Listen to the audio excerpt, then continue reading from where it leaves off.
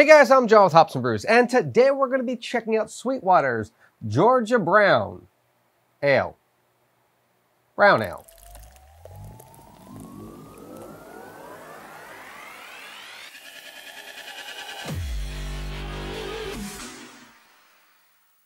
So, like I said, we're going to be checking out Sweetwater's Georgia Brown Ale. This is a year-round release for them. A brown ale? Really? I mean, that's cool. Actually, I, I really dig that. 99% of the time, what do we always get? Pales and IPAs. That's it. It's nice to have something different with a malt backbone. So let's check out what this beer has to offer. This beer comes in at a 5.8% ABV. A 30 IBUs, it gets an average rating on Untappd of 3.55. A deep river of caramel and chocolate malts meandering through undercut currents of hop additions. Georgia Brown is part of our year-round lineup and is line priced with Sweetwater's other lip-smacking core styles. Malts used are Two Row, Munich, 70 over 80, Carapils, Chocolate, and Victory. Hops are Columbus and Willamette.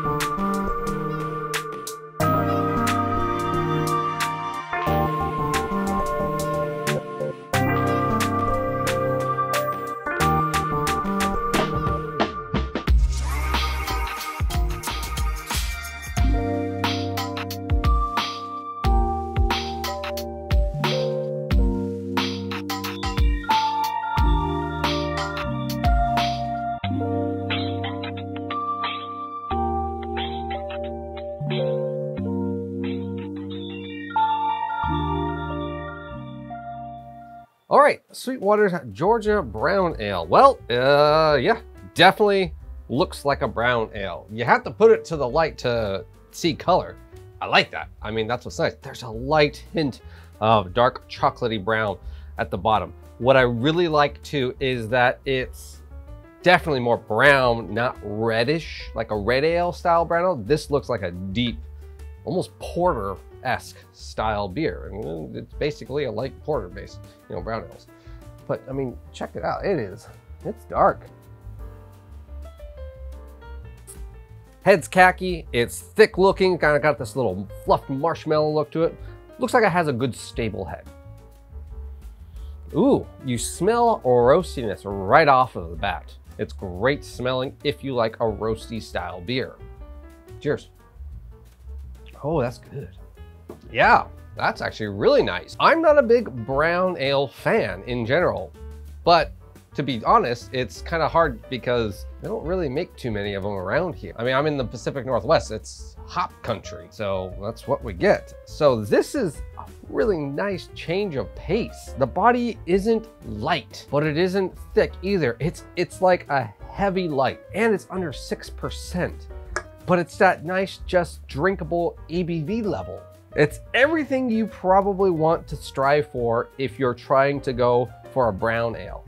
The roastiness is there. It's not overpowering. There's a hint of a nut and a hint of light chocolate. I can really see this beer showing its potential, especially right now during the colder weather. This I know is a year-round release for them, but it feels more like a fall and winter style that should be pushed harder during those times.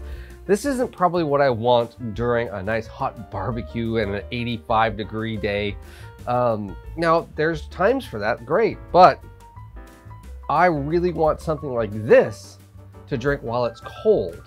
This to me, I envision having with a nice, warm, hearty meal, like a stew, um, roast and potatoes and, and, and something along that, you know, that thick, hearty, meaty food but it reminds me of fall and wintertime without being like a spiced beer to where it's pumpkin spiced or allspice or something for Christmas or winter or fall and whatever.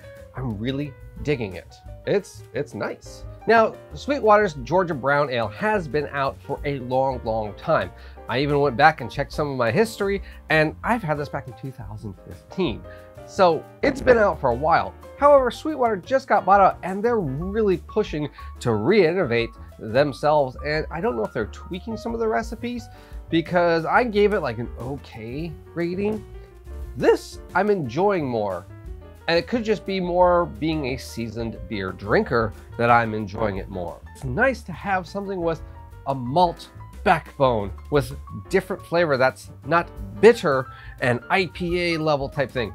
I can even now think of this as like, yeah, I probably actually could have this with like a greasy pizza and hot sauce in this because this would complement it of spicy savory and I got this roasty chocolateness with it. It actually, I think might work pretty well.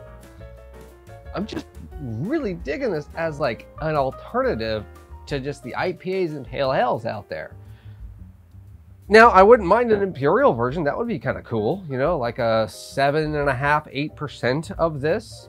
But really, then you're just talking it's a stout. you know, um, why not just make a, a stout? But that is something I like about this is it is a yearly release. It is that lighter style because when you get into the imperial ones, you're like, I just want one. This I'm actually easily could have two and be fine. And when I remembered it's a year-round release, that got me thinking, what other brown ale is a year-round release? In fact, what other roasted malt is a year-round release?